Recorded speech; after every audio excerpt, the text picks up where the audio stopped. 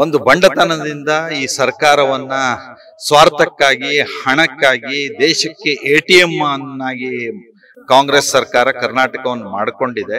ಪ್ರಜಾಪ್ರಭುತ್ವದಲ್ಲಿ ಪ್ರತಿಪಕ್ಷವಾಗಿ ನಮ್ಮ ಜವಾಬ್ದಾರಿಯನ್ನ, ನಮ್ಮ ಕರ್ತವ್ಯವನ್ನ ನಾವು ನಿರ್ವಹಿಸ್ತಾ ಇದ್ದೇವೆ. ಸ್ವಾರ್ಥಕ್ಕೆ, ಹಣಕ್ಕೆ ಆಡಳಿತ ಮಾಡ್ತಿರೋದ್ರ ವಿರುದ್ಧ ಈ ಹೋರಾಟ ಇದೆ. ಎಸ್ ವೀಕ್ಷಕರೇ, ಏನು ಬಿಜೆಪಿ ಹಾಗೂ ಜೆಡಿಎಸ್ ಒಟ್ಟಿಗೆ ಈ ಒಂದು ಪ್ರತಿಭಟನೆಯನ್ನು ನಡೆಸ್ತಾ ಇರುವಂತದ್ದು ಮೈಸೂರು ಚಲೋ ಅನ್ನುವಂತಹ ಪ್ರತಿಭಟನೆ. ಸೊ ಇಲ್ಲಿಂದ ಇವರ ಕಾಲ್ನಡಿಗೆ ಇವತ್ತು ಆರಂಭವಾಗುತ್ತೆ. ಸೊ ಬಿಡದಿಯ ಏನು ಗ್ರ್ಯಾಂಡ್ ಅರೇನಾ ಹೋಟೆಲ್ ಬಳಿ ಇಂದ ಈ ಒಂದು ಪ್ರತಿಭಟನೆ ಸ್ಟಾರ್ಟ್ ಸ್ಟಾರ್ಟ್ ಆಗ್ತಾ ಇರುವಂತದ್ದು. ಆ ನಿಟ್ಟಿನಲ್ಲಿ ನಮ್ ಜೊತೆ ಮಾತಾಡೋಕೆ ಈಗಾಗಲೇ ಉತ್- ಉತ್ತರ ಕನ್ನಡ ಜಿಲ್ಲೆಯ ಸಂಸದರು ವಿಶ್ವೇಶ್ವರ ಹೆಗಡೆ ಕಾಗೇರಿ ಅವರು ಇದ್ದಾರೆ. ಸರ್ ನಮಸ್ತೆ. ಮೊದಲನೇದಾಗಿ ತಾವು ಕೂಡ ಈ ಒಂದು ಪಾದಯಾತ್ರೆಯಲ್ಲಿ ಭಾಗವಹಿಸಿದ್ರ ಸೊ ಈ ಪಾದಯಾತ್ರೆ ಮುಖ್ಯ ಉದ್ದೇಶ ಏನ್ ಹೇಳಕ್ ಬಿಸ್ತೀರಾ? ಕಾಂಗ್ರೆಸ್ ಸರ್ಕಾರ ಯಾವ ಭ್ರಷ್ಟಾಚಾರದ ತುತ್ತ ತುದಿಯಲ್ಲಿ ಆಡಳಿತವನ್ನು ನಡೆಸ್ತಾ ಇದೆಯೋ, ಈಗಾಗಲೇ ಇದ್ರ ವಿರುದ್ಧ ಜನಾಭಿಪ್ರಾಯ ರೂಪಿತ ಆಗಿದೆ. ಇಷ್ಟರೊಳಗೆ ಸಿದ್ದರಾಮಯ್ಯನವರು ರಾಜೀನಾಮೆ ಕೊಡಬೇಕಿತ್ತು, ಸಂಪುಟವನ್ನ ವಿಸರ್ಜನೆ ಮಾಡಬೇಕಿತ್ತು. ಅದೇನೂ ಮಾಡದೆ ಒಂದು ಬಂಡತನದಿಂದ ಈ ಸರ್ಕಾರವನ್ನ ಸ್ವಾರ್ಥಕ್ಕಾಗಿ, ಹಣಕ್ಕಾಗಿ, ದೇಶಕ್ಕೆ ಎಟಿಎಂ ಅನ್ನಾಗಿ ಕಾಂಗ್ರೆಸ್ ಸರ್ಕಾರ ಕರ್ನಾಟಕವನ್ನು ಮಾಡಿಕೊಂಡಿದೆ.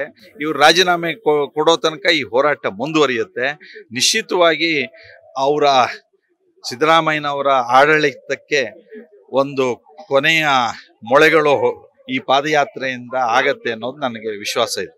ಓಕೆ ಸರ್ ಈ ಪಾದಯಾತ್ರೆ ಮೈಸೂರುವರೆಗೆ ನಡೆಯುತ್ತೆ. ಸೊ ಏನಿದ್ರ ಮುಖ್ಯ ಉದ್ದೇಶ? ಮೈಸೂರುವರೆಗೆ ನಡೆಯುವಂತದ್ದು ಜಗಜ್ಜಾಹಿರ ಆಗಿದೆ. ಮೂಡಾ ಹಗರಣ ವಾಲ್ಮೀಕಿ ಹಗರಣಗಳು ಬಹಳ ಮುಖ್ಯವಾದ ವಿಷಯ.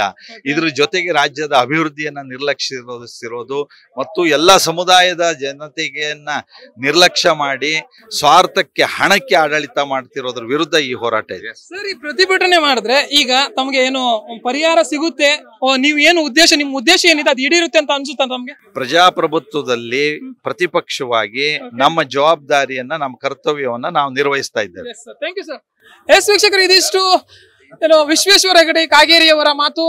ಸಾಕಷ್ಟು ಅದ್ಭುತವಾದಂತ ರೆಸ್ಪಾನ್ಸ್ ಬರ್ತಾ ಇದೆ. ಬಿಜೆಪಿ ಹಾಗೂ ಜೆಡಿಎಸ್ ಎಲ್ಲ ನಾಯಕರುಗಳು ಕೂಡ ಈ ಒಂದು ಪ್ರತಿಭಟನೆಯಲ್ಲಿ ಪಾದಯಾತ್ರೆಯಲ್ಲಿ ಭಾಗವಹಿಸ್ತಾ ಇರುವಂತದ್ದು. ಕ್ಯಾಮರಾ ಪರ್ಸನ್ ಉಲ್ಲಾಸ್ ಜೊತೆ ಜಯಲೈಗೌಡ್ ಕರ್ನಾಟಕ ಟಿವಿ ಬೆಂಗಳೂರು